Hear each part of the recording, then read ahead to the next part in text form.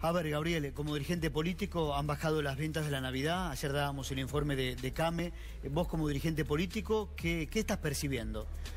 Sí, bueno, lo de CAME es claro, 9% la venta de Navidad, pero cualquier índice que uno toma, eh, producción industrial eh, cae, construcción cae, riesgo país sube, la inflación sigue siendo muy alta. Y el diagnóstico es muy fácil, Argentina está en una crisis de fondo y todo hace prever que el 2019 va a ser peor. Eh, las fiestas estos días, eh, de algún modo el tema no se siguió, pero siguió subiendo el riesgo país.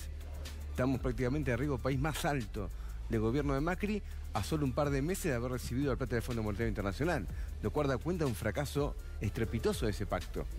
Y se está discutiendo ahora, y esto que es muy claro, la posición de default en Argentina. ¿Por qué significa riesgo país? Que nadie cree que Argentina pueda pagar su deuda. Entonces tenemos que discutir las cosas de frente.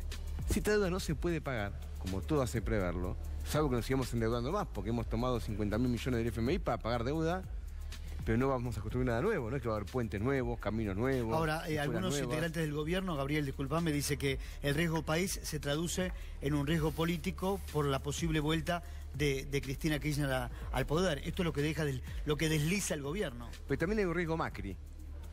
Porque está riesgo, dicen, que gane Cristina, para riesgo que gane Macri. Porque un gobierno que fracasó en tres años, si llegase a ganar el año que viene, como resultado de una polarización electoral, que algunos dicen que le conviene, porque todavía hay balotage que dan que una pelea con Cristina puede llegar a ganar, ¿cuál es el problema? Es que gana Macri y tiene que gobernar cuatro años más Macri. Es decir, que después de tres años de fracaso, tendríamos ocho años de fracaso. ¿A dónde vamos a llegar? Mira, el segundo mandato de Macri, si es que gana, o el presidente que venga, va a tener que afrontar vencimiento de deuda por 130 mil millones de dólares. Y la plata del Fondo Monetario se la gastaron, porque no va a haber más plata del Fondo Monetario Internacional. ¿Cómo se va a hacer eso?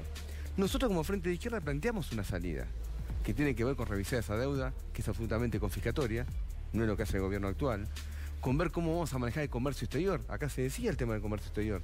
Si Argentina va a negociar con el mundo a través de una planificación económica que permita desarrollar su industria, o vamos a un país cada vez de más monocultivo, de atraso, de destrucción de empleo industrial.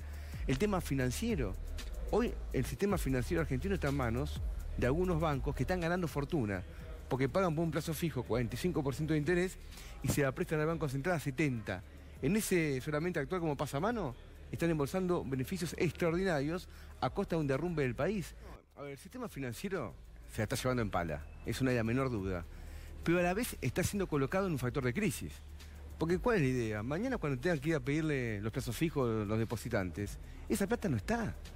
La han puesto en la LIC. Y el Banco Central, cuando tenga que devolver a la LIC, no tiene, va a tener que emitir. Entonces, para que se entienda bien, este sistema coloca a Argentina al borde de una hiperinflación o al borde de un corralito.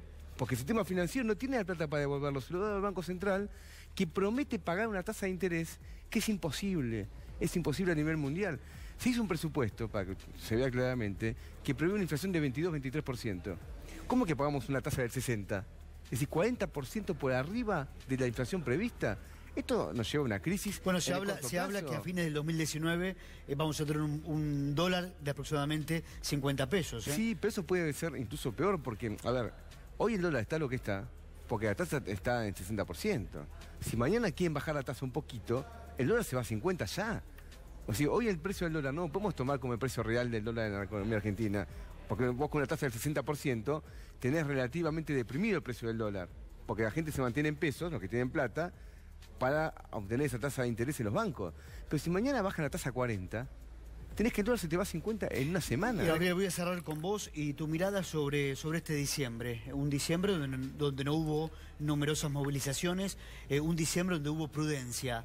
¿Tu opinión? Sí, creo que fue pactado, voy a ser claro. Primero se pactó con la CGT. ¿Pactado entre quién? Primero con la CGT. Había un paro, ¿te acordás? Que había sido convocado sin fecha, llamativamente. Y lo levantaron el paro a cambio de un bono de 5 mil pesos que una gran parte de los trabajadores no cobraron.